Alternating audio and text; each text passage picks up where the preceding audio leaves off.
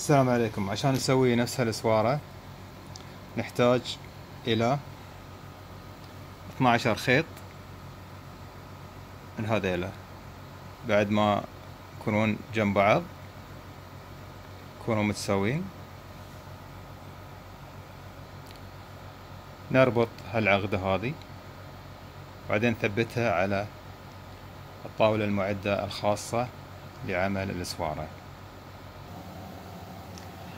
إحنا على الطاولة اللي نشتغل عليها.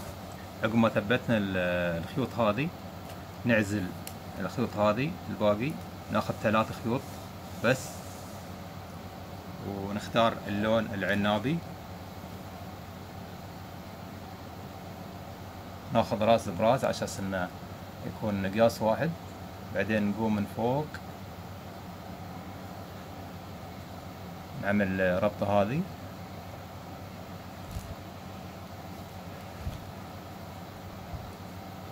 وننزلها هنا فوق شوي.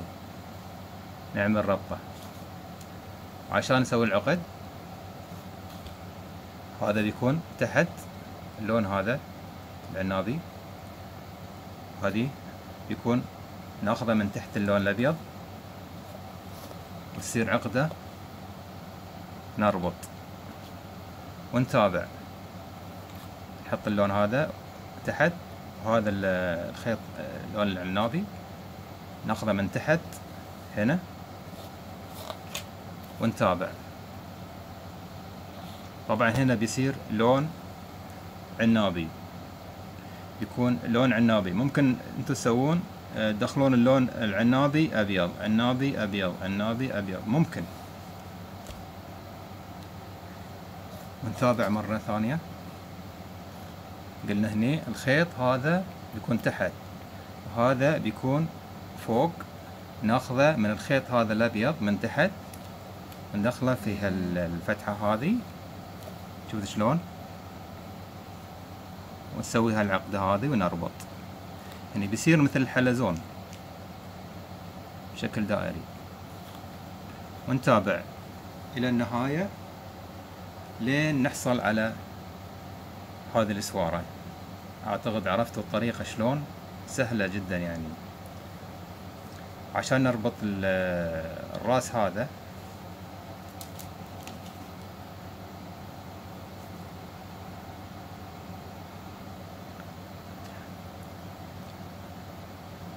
هني نسوي ربطة عشان نحافظ إنه ما ينفك الخيط.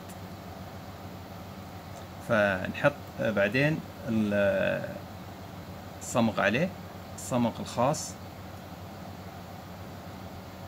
هذا الصمغ هذا الصمغ جيد جدا. وبيكون اللون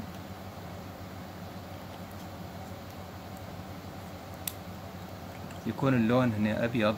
بعد ما ينشف يختفي اللون الأبيض. وجيد جدا يعني أنا استخدمته. اللي هو هذا.